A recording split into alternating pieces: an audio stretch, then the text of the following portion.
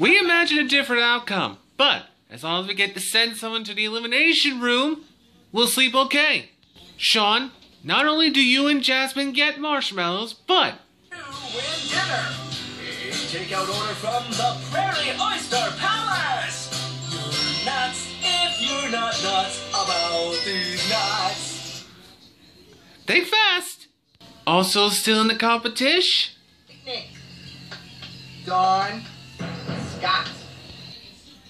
Scott. B, Cake, and Huggy. Which leaves Amy and Sonic. Uh oh. And the last badge goes to.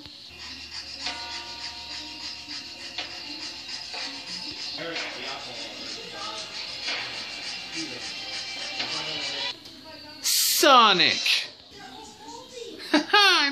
Going back again. Uh, I mean, sorry, Amy.